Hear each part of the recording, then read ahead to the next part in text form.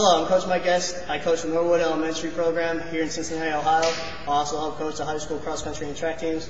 This is Connor McGlesick. He's a high school wrestler, senior. He has big plans of working at States. And today we're going to have a Coach Guest Daily.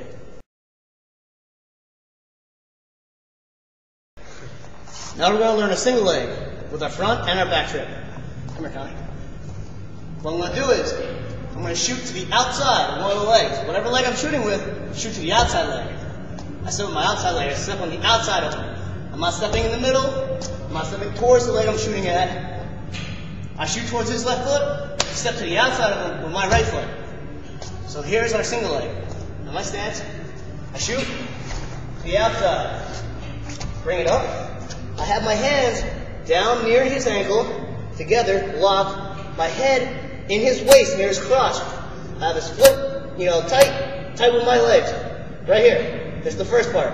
Next, you get his leg in your left armpit, or the armpit that's away from you. Bring it up. Right here, in the armpit. He has nothing, you can't do anything from right here. If you're like this, if you're just holding it, he can hop around, his knees bent. You want it up here, right in your armpit. Now your front trip, you're not gonna trip at the ankles, you wanna jump. If I go to trip at the ankles, he's just gonna jump right over it. I wanna trip high and push him forward. Don't slam him to the mat, you lose points. I wanna trip high and push him forward.